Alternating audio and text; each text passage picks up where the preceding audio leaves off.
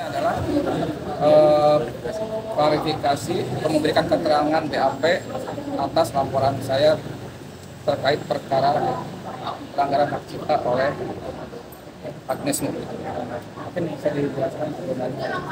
Jadi tadi kita sudah kelar memenuhi panggilan dari penyidik untuk memberikan klarifikasi mana kita diberi pertanyaan sejumlah 20 pertanyaan terkait dengan bukti-bukti apa saja yang bisa kita lampirkan terkait dengan dugaan pelanggaran yang dilakukan oleh pemerintah.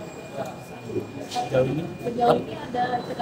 Ya, dari Agnesmonya sih ada komunikasi kah? sejauh ini sampai hari ini kita datang dari pihak Anies Monika tidak ada menghubungi kita sama sekali. Bang kalau boleh tahu polemik ini sudah sejak dari kapan sih maksudnya? Akhirnya diangkat sekarang gitu mas?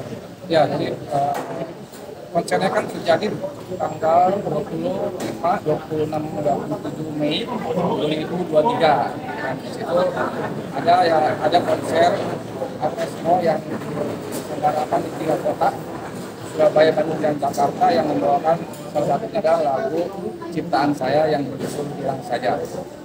Nah itu eh, saya pertanyakan hak ekonomi saya di situ, royaltinya, dan ternyata setelah kita cross check ke berbagai pihak, termasuk LMKN sebagai lembaga pemerintah yang mengurus penarikan royalti konser itu, ternyata tidak juga ada pembayaran.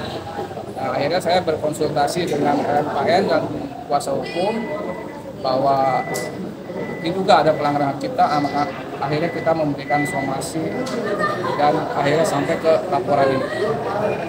Jadi pertama yang saya mau apresiasi adalah eh, pihak Baris Krim Polri, penyidik Baris Krim Polri karena telah menerima laporan kami tanggal 19 Juni 2024 dan menindaklanjuti dengan penyelidikan dan pemeriksaan yang dimulai oleh eh, pelapor yaitu saya Ari Bias dan diikuti besok ada agenda juga eh, pemeriksaan saksi-saksi. Saksi-saksi dalam hal ini siapa aja? Jadi kita saksi yang akan kita ajukan itu adalah pihak LMKN dan pihak publisher kita. Sejauh ini itu saksi yang akan kita sampaikan. Dan eh, salah satunya PT Anika Bintang Gading atau itu HW Group Ya di sini kan